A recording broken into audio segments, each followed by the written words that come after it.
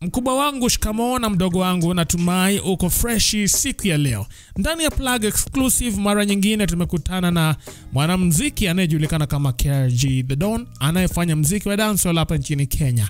Na mwanamuziki huyu ameweza kufunguka kuhusu yeye kama msanii na kukua na biashara huko na kule, na isitoshe pia ameweza kuzungumzia kuhusu rafiki wake wa karibu anayejulikana kama Sammy Boy. Hivi majuzi Sammy Boy ameshtakiwa kuwa ni mwanaume anayependa wanaume wenzie yeye kama rafiki wa Sammy Boy maoni yake ni gani? Na pia ameweza kuzungumzia kuhusu Ringtone Alex Apoko ambaye anadai kwamba yeye net worth yake ni 50 billion Kenyan shillings. Does he agree with Ringtone's net worth ama anapinga tu?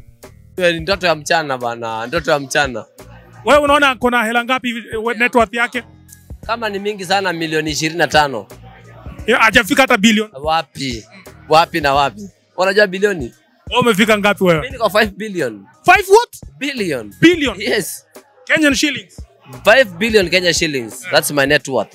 Mm. Na zote ni kutoka kwa mziki ama? Hapana, unajua unajua nikikwambia net worth sijasema cash in the bank. I'm talking about properties that Asset. on assets, you know, investment in different uh, companies, unajua shares in various places.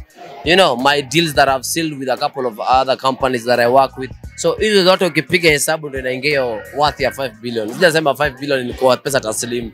Yeah. Unamjua Sammy Boy sio? Yeah, yeah, Ni namjua. rafiki yako. Yes. Na hii story yake ya video yake kuleak, unaweza mwambia nini kuhusu hiyo video ambayo imeleak? Okay, unajua dunia iko na mambo mengi na yeye alikuja, nadhani alikuja akajieleza, akasema ilikuwa kitambo, mambo ilikuwa imechemka pande hiyo, ilikuwa mzuri, na akarudi akasema kuwa ilikuwa wakati alikuwa desperate sana, hakuwa anajua mambo itakuwa vipi baadaye. So na ni mwanadamu, kwani hizi hizi mambo za yani tofauti tu ni wale labda aliweka kamera, lakini hizi ni vitu watu wanafanyaga, watu wanafanya hata zaidi ya hizo aliweka. Mimi najua watu wanafanyaga vituko wanafanya vituko na hakuna mtu anawaambia kitu. So ni maisha tu, watu waache kumpiga mawe tena, waangalie kama kama miaka miwili mitatu alikuwa vile na saizi yako, yako ako hivi vizuri, basi kumaanisha is a good person na amejielewa. Kama alikuwa ameenda kwa nyasi kidogo, amejipata tena ameingia kwa highway. Basi sasa ni kuenda kushika mwendo. Mambo unajua, jana haiwezi kusaidia, kesho ndio itakusaidia, ama leo unaweza ukachange direction ukaingia kesho. Kwa hiyo mambo ya jana ni ya jana, tu, tuangalie mambo ya mbele. Watu waache hata kina Kim Kardashian si wako na mambo kama hiyo kwa mtandaoni, si ni ukweli? Na mbona hawaleti hiyo mambo sahihi? Watu wako na mambo mingi bwana, mambo ni mingi. Waache kupiga Sami Boy mawe, waache kijana aendelee kufanya kazi yake, basi ni, kuma, ni hali ya maisha hiyo mm. Na kama kawaida uh, kuna yule blogger anajulikana kama Edgar Obare bado anakuita kwamba wewe ni msanii upcoming. Sijui unamwambia nini kuhusu madai ya Edgar? ule anaongelelea wapi? Kwa sababu mitandao yote nilimtoa wako wapi? Hiyo unaongelelea mtu anaongelelea huko kwa vitu hiyo. Yeye mwanzo anafanya anako kwa Telegram au Telegram huko, si ndio porn site eh, ya free huko, yeye mwenyewe kwa porn site. So watu wa porn site hatuwezi tukawaongelelea tuongelelea watu wengine wako kwa mitandao ya kijamii social media. Hiyo si social media, hiyo ni, ni media ingine, ni dark media eh.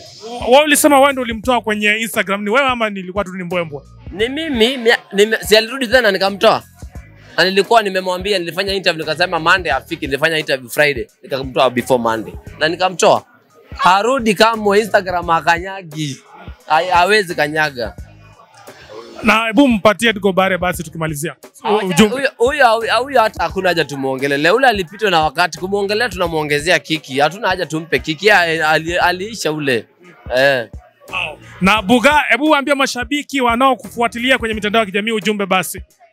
Ah, tuendelee kupambana na hali ya pilipili na ndimu, tujitume town, kwa sababu town bila kujituma na kuongeza akili kila siku kujiongeza, hatuwezi tukaishi maisha mazuri. So sisi tunaendelea kupambana kabisa, watu endelee kutufuatilia, wenye na support wa support, na wenye wanataka kutupa mawe watupe mawe, tutatumia kujengea mamizi- majumba mengine baadaye. Basi Na Buga, leo tumeangalia pale kwenye YouTube ukapata kuna wimbo fulani umechapa na Justice Gali pale. Yes, yes, Watu wanasema kwamba wewe si msanii wa dance, leo umenyamaza sana. Ah, mimi napiga mziki wa dancehall. Unajua uh, nimekuwa busy kidogo uh, nje ya studio nikifanya one two, one two. Kuna project nimekuwa nikiwakia, but pia kwa studio niko na mama, mamawe zimeandaliwa, ni kuachilia tu imebaki, so tunaangalia vile wewe viko watu kama wako na mood fulani, tutakuwa tunawadondoshea mamawe mawe ya hiyo mood, lakini kwa sahii twende polepole.